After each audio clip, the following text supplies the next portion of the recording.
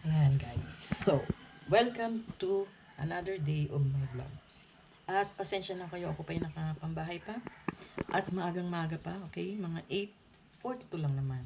So, hindi na siya magang maga. Magandang umaga. Welcome to my vlog!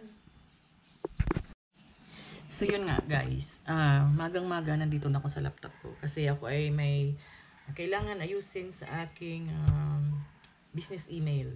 Okay, so ah, ang pagbi-business talaga ay marami kang ah nasikaso, no? Pero pa yung mga dokumento. So, dahil nga online digital business ako, ah meron tayong mga inaalaga ang mga website, ganyan, ganyan. So, pag may, may mga updates, so kailangan din natin i-update, ganyan. So, ako ay may ginagawa ngayon dito sa aking ah, laptop.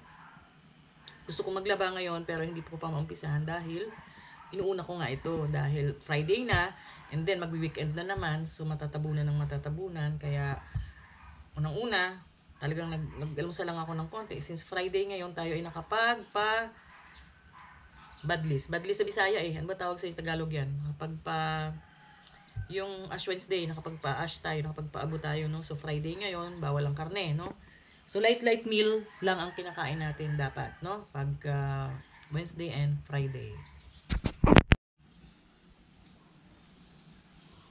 kapag ako ay may hinihiling talaga, nagsisindi ako ng kandila kay Papa Jesus tsaka kay Mama Mary.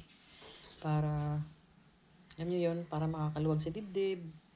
Yung mga iniisip mo na gusto mo lang na may ano, na mag- magabayan ka lang ba. Kasi, minsan talaga nag-iisip ako, nag-aalala ako na kung dami-dami pumapasok sa isip ko, ganyan. Pero para lang ma-at peace ako, talagang ano, yeah, nagsisindi ako ng kandila. Ganyan. So, magdasal lang tayo palagi. Pagka meron tayong mga lalahanin, yan, ganyan ako. Okay, guys. Na-solve na yung aking problem. And, konti na lang mag na maayos na yung aking professional email. Diba? So, kanina, diba, nagdasal tayo. Ngayon naman, tutuloy ko na yung aking I have to wait another 24 hours daw para maayos yung para makareceive na ako ng mga email. Kasi napaka-importante talaga ng aking professional email doon sa aming business. Yan, sa aking business. Okay, so yung kaibahan nun sa ah traditional na business is hindi kasi ako magaling magbenta. Okay, so dito sa business namin, hindi ka magbebenta. But,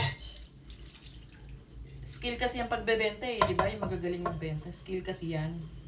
Ngayon, kung wala naman tayong skill na ganun, so maganda ito kasi, ano, hindi ako, ay, hindi ako magaling mangumbinsi ng ano eh, yung benta. hindi nga kasi ako seller, hindi ako pinanganak na seller ba. Okay? So, itong mga tasa na ito ay pinagkainan, pinagkainan. Pinagtimplahan namin ni Angel kagabi ng ano, oatmeal. Sa gabi nag-oatmeal na lang kami dalawa, bongga. Hindi na kami nagra-rice. So, sinasabayan ko rin siya dahil kailangan niya mag-loose. My golly. Napaka-healthy. Yan. So, kailangan namin oatmeal kami sa gabi. Yung ano, instant na oatmeal. Para easy lang. Okay naman, di naman kami nagugutom.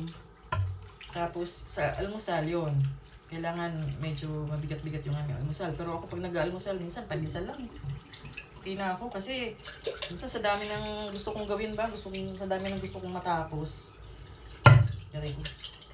Dami ng gusto kong matapos. Tapos may sumisingit-singit pa ng mga ano, si Lula nagkukulit pa. Gustong pumunta ng pumunta ng Makati. Diba? Oh. So, ngayon, pwede na ako mag-wash ng aking face. May extra water dito. Para pwede na ako maglaba.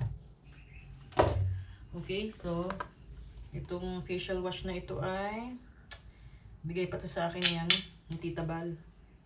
Si Tita Bal na nasa Dubai. Binigyan ako nito. So hanggang ngayon meron pa tita ba, hindi pa siya ubos. Kasi, meron talaga akong sabon sa mukha pero hindi ko ginagamit. Palagi itong, ano, itong tube na ito.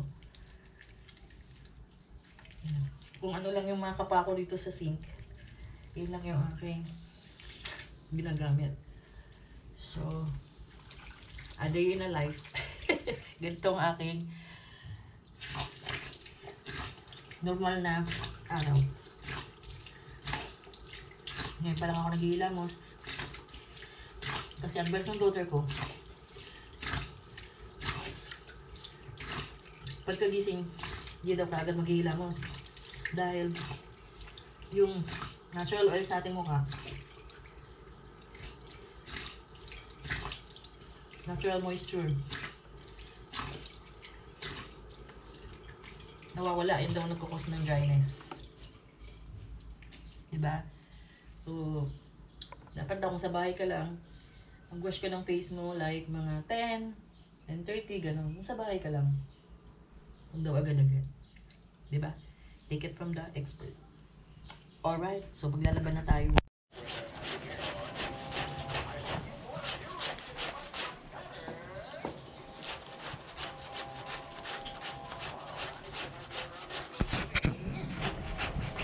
So ito, nagmemeryenda na ako dahil ah, pahinga muna sa paglalaba. At medyo nagutom ako at bagong luto yung ginawa ni Lola na ginataan. Kapoy. Kapoy.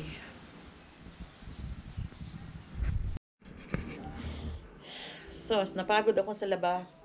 Nakatulog ako, nakaidlip. Pagising ko ay naghakbat na lang ako.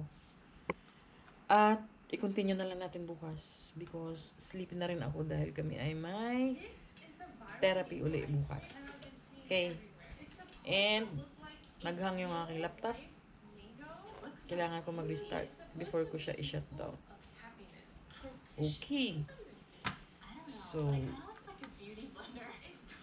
balik ako mamaya. Ay, bukas pala.